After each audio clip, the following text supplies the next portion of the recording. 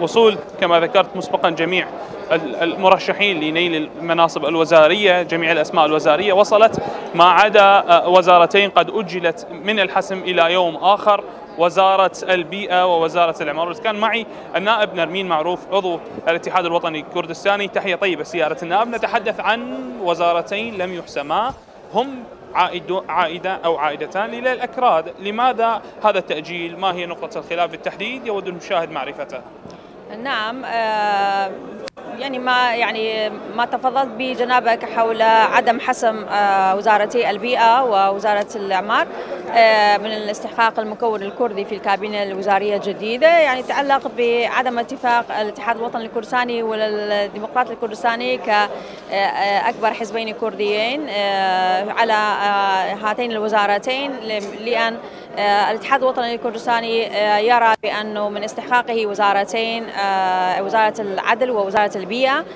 بينما الديمقراطي الكردستاني أيضا يعني يطالب بوزارة ثالثة إضافة إلى وزارة الخارجية ووزارة الأعمار يطالب بوزارة البيئة فهذا هو نقطة الخلاف ونأمل إن شاء الله يعني قريبا يتم التواصل بين الطرفين لحل هذه هذه النقطة الخلافية وإنه يتم التصويت على هذه هذين الوزارتين مثل بقية الوزارات اللي نامل خلال الدقائق القادمه حسب جدول الأعمال جلسة اليوم يتم التصويت على الكابينة الوزارية الجديدة. سيدنا من خلال حديثك يعني الموقف بين الاتحاد والديمقراطي لكن الديمقراطي موقفه لربما من كلامك ليس فقط مع الاتحاد هو يطالب بوزارة أخرى ما يعني المطالبة هي من رئيس الوزراء المكلف. أليس كذلك؟ ما هو الموقف بالتحديد؟ هل سيحسم في الوقت القريب أم ستؤجل إلى فترات أطول؟ آه لا أعتقد راح يعني هنا يكون في تأجيل لفترة طويلة. يعني لأن بالنتيجة يعني وزارتي البيئة والإعمار أيضا من تشكيلة الوزارية وهي من الوزارات المهمة والتي آه يستوجب عليها أن انه تقدم خدماتها إلى المواطنين.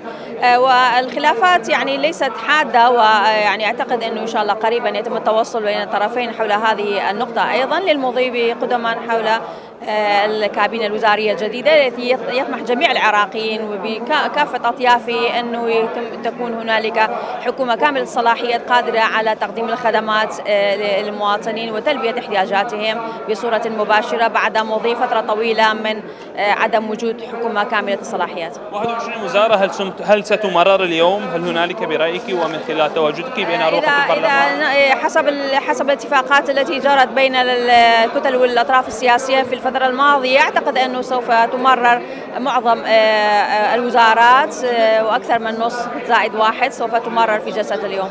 شكرا جزيلا شكرا لك. سيادة النائب.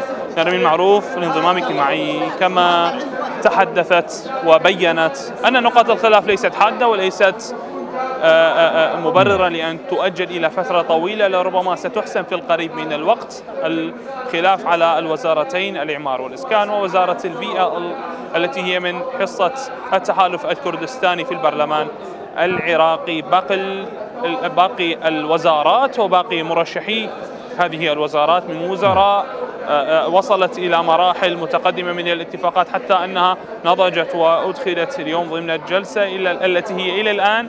لم تعقد وبانتظار عقدها لربما بسبب النصاب القانوني الذي يؤخر عقد هذه الجلسة في موعدها المحدد. إلى الآن لا يوجد موقف رسمي من رئاسة المجلس بخصوص إما التأجيل أو المضي بالعقد. إلى الآن الأمر يعني متعلق وبالأساس قانونيا برئاسة المجلس تؤجل الجلسة إن أرادت إلى نصف ساعة أو ساعة لكن إلى الآن لا يوجد موقف إذا لا جديد لا جديد محمد حول وصول السيد السوداني إلى المجلس حتى الآن.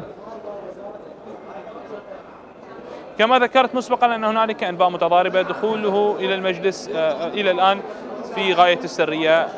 مكاتب الإعلامية رئاسة المجلس تؤكد عدم حضوره وتسريبات من ذات المكاتب تؤكد أنه وصل وهو الآن داخل مكتب الرئيس. هذه الأنباء كما تعلمون الجلسة لها حساسية كبيرة لا يسمح لنا وسائل الإعلام بالتجول في أروقة المجلس في هذا التوقيت تحديدا للضرورات الأمنية وأيضا لحساسية هذه الجلسة. بالتالي سيكون هنالك تأكيد للخبر بعد دقائق من الآن. بعد اكتمال النصاب سيتبين الموقف بشكل رسمي. كما ذكرت أن الأنباء تتضارب في هذا الموضوع لكن التشكيلة الوزارية نعم. بكاملها قد وصلت ودخلت إلى مبنى البرلمان بشكل كامل وهنالك حضور نيابي أيضا كبير. لم يتبقى إلا أن تقرأ أجراس المجلس ويتوجه النواب إلى القاعة الكبرى ومن ثم تبدأ الجلسة نعم. بنصاب النصف زائد واحد